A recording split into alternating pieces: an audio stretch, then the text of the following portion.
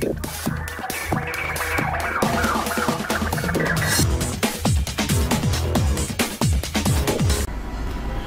Hello viewers, বিনোদন জগতের সব খবর নিয়ে আপনাদের সঙ্গে এই মুহূর্তে রয়েছে আমি রিপোর্টার কুসুম। সুপারস্টার শাকিব খান এই মুহূর্তে মিডিয়ার সামনে তার জয়, অপবিশ্বাস এবং তার ভবিষ্যৎ পরিকল্পনা নিয়ে বেশ কিছু কথা বললেন। মিডিয়া সাংবাদিকরা বেশ কিছুদিন ধরেই তার পেছনে লেগেছিল। তাকে ফোনে কিংবা কোনোভাবেই ট্রাক করতে না পারায় তাকে একটা শুটিং স্পটে পেয়ে গিয়ে তাকে এই প্রশ্নগুলো করলেন। সুপারস্টার শাকিব খান মন খুলে বলে দিলেন, এবার তার মনের যত কথা ছিল। তিনি বলেন, আমি অপু এবং জয়ের কাছে অনেকভাবেই ঋণী, বিশেষ করে অপুর কাছে। অপুর যে ম্যাচিউরিটি আমার হয়তো সেটা ছিল না, যেটা আমি বুঝতে পেরেছি গত দু বছরে। আমার জীবনে অনেক ভয়ঙ্কর রকমের ভুল করেছি, যে ভুলের কথা এখন মনে হলে নিজেই কষ্ট পাই, যে এটা দরকার ছিল না। আমার ক্যারিয়ারটা অনেক সুন্দর ছিল, অনেকগুলো বছর আমি ক্যারিয়ারকে সুন্দরভাবে বিলং করেছি, এগিয়ে নিয়ে গেছি নিজের জীবন দিয়ে।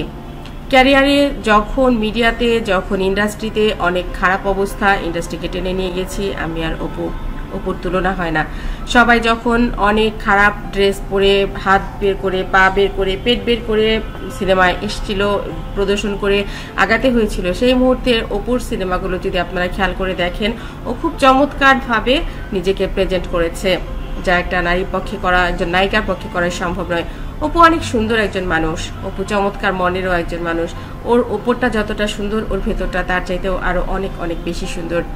চিত্রনায়িকা অপু বিশ্বাসকে ভালোবাসে না কিংবা তাকে পছন্দ করে না, এমন মানুষ খুঁজে পাওয়া যাবে না। কিন্তু আমার হয়তো কোনো ভুল হয়েছিল কিংবা আমাদের এটা দরকার ছিল। সব কিছু মিলিয়েই যেটা ঘটে গেছে, সেটা আমার ক্যারিয়ারের জন্য একটা ব্ল্যাক স্পট বলাই যায়।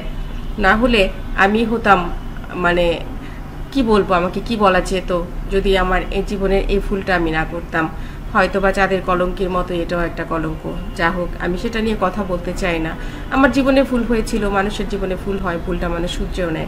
আমি কিন্তু সেটা সূর্যে নিয়েছি। আমি বারবারই বলেছি, আমি আর কাউকে চাই না।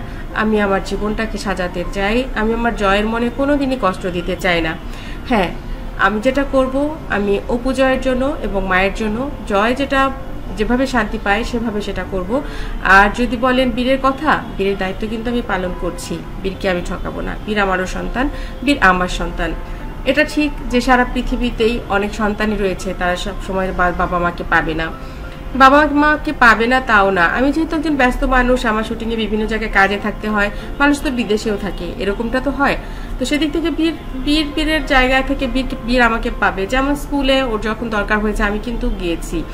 আমি প্যারেন্টস হিসেবে গিয়েছি, আমরা দুজনই গিয়েছি বা আমরা তিনজন গিয়েছি, সেটা দরকার ছিল। সেই যেখানে সেই দায়িত্বগুলো পালন করার আমি ঠিক পালন করব।